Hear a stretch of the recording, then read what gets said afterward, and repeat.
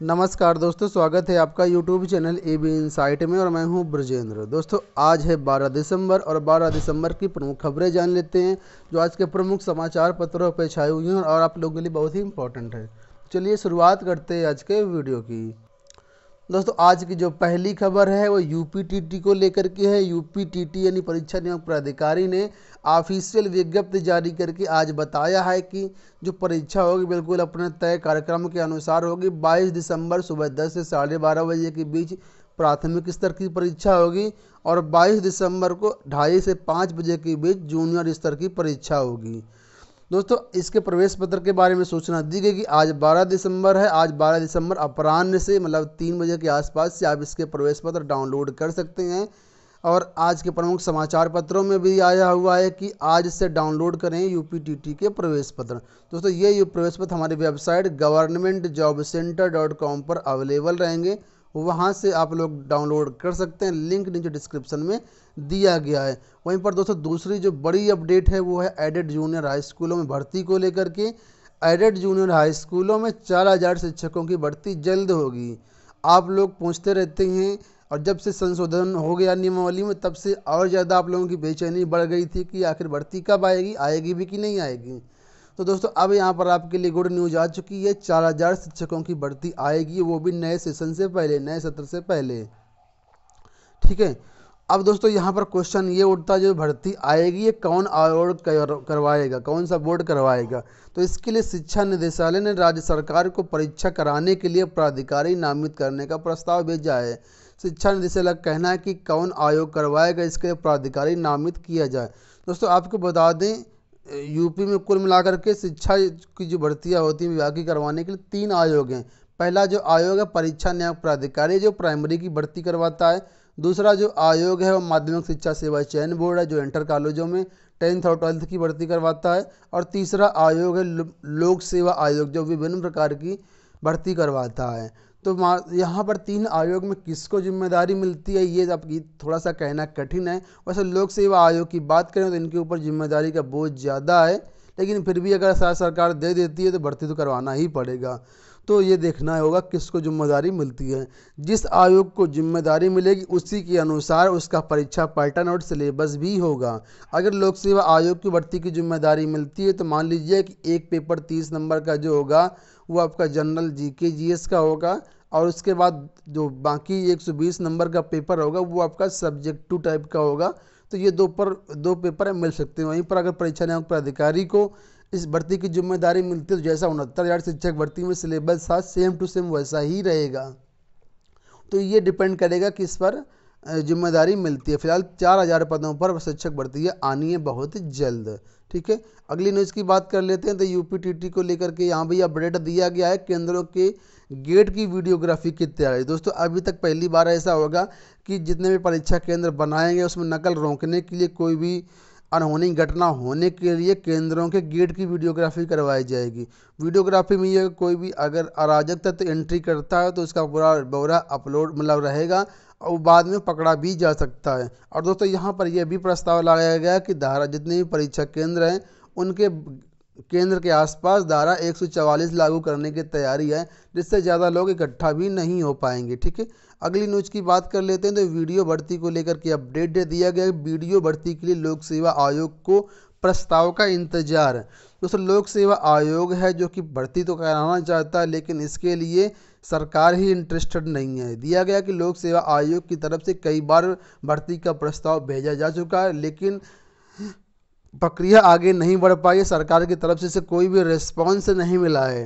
यहाँ पर भी दिया गया कि जो वीडियो होते हैं उनके कंधों पर। शासन की समस्त योजनाओं को लागू करने की ब्लॉक स्तर पर ज़िम्मेदारी होती है, लेकिन उन्हीं का पद भरने के लिए शासन कोई रुचि नहीं ले रहा है। आयोग की ओर से वीडियो की भर्ती के लिए कई बार अध्याचन मांगा गया है, लेकिन उसका कोई जवाब नहीं मिला है। इसके चलते 300 के लगभग पद ऐसे हैं जो खाली हैं, भरे नहीं जा पा रहे हैं। कई ब्लॉकों में ऐसे अधिकारियों से बड़ी ब्लॉक का काम लिया जा रहा है, जो इसकी अर्हता नहीं रखते हैं, जबकि कई ब्लॉक ऐसे हैं जहाँ पर अधिकारियों से एक एक अधिकारी से दो तीन ब्लॉकों का काम लिया जा रहा है। इससे भाई भतीजावाद को बढ़ावा मिलता है, भ्रष्टाचार को बढ़ावा मिलता है और काम की गुणवत्ता भी प्रभावित तो हो रही है।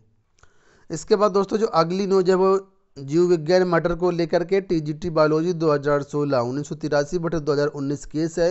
इस केस की आज सुनवाई होनी है इलाहाबाद में। दोस्तों, इस बार बेंच बदल गई है, कोर्ट नंबर तीन में केस लगा हुआ है। माननीय सरल श्रीवास्तव जी, इस कोर्ट के जज साहब होंगे और सीरियल नंबर तेईस पर केस लगा हुआ है। अब देखना ये होगा, इस सुनवाई में क्या होता है जैसा कुछ भी होगा अपडेट आपको आने वाले वीडियोस में दिया जाएगा। अगली जो अपडेट है दोस्तों, वो है एलटी ग्रेड को लेकर के। दिया गया आयोग पर वादा खिलाफी का लगाया आरोप। दोस्तों, एक हफ़्ते पहले पिछले बुधवार को आयोग के अध्यक्ष से अभ्यर्थियों की वार्ता हुई थी। आयोग के अध्यक्ष ने कहा था कि हम केस डायरी का अवलोकन करने के बाद एलटी ग्रेड हिंदी और सोशल का रिज़ल्ट देंगे।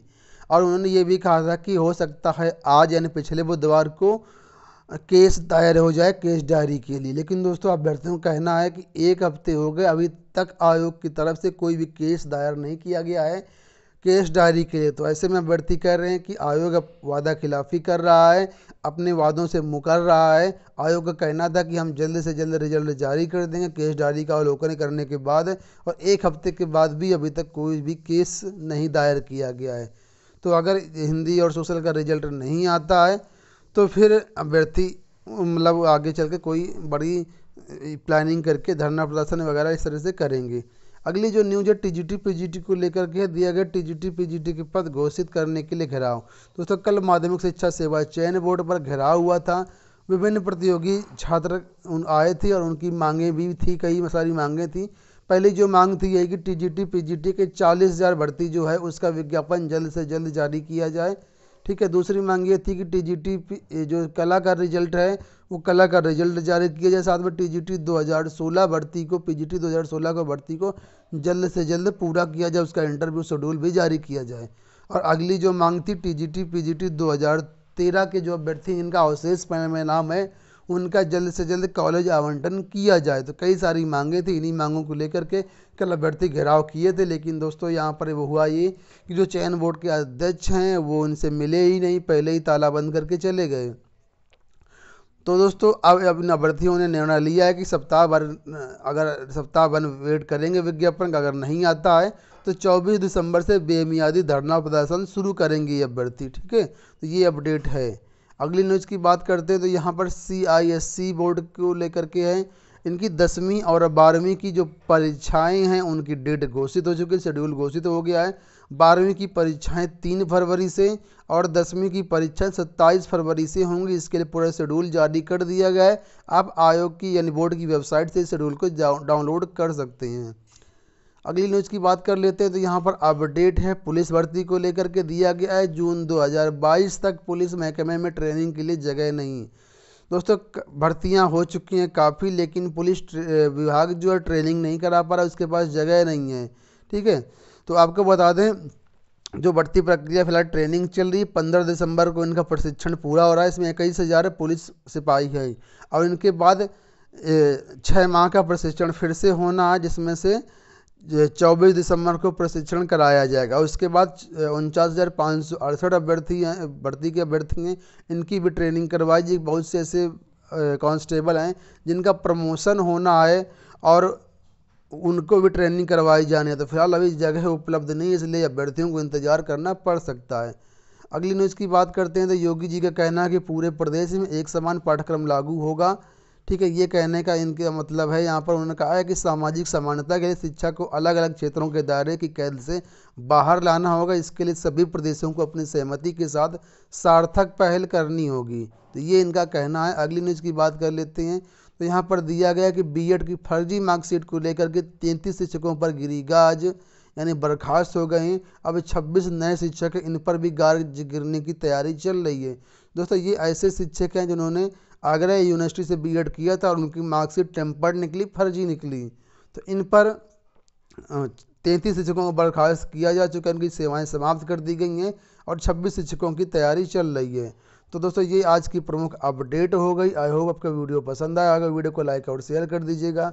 इसी तरह की अपडेट पाने के लिए चैनल को ज़रूर सब्सक्राइब करिएगा। पूरा वीडियो देखने के लिए बहुत बहुत धन्यवाद।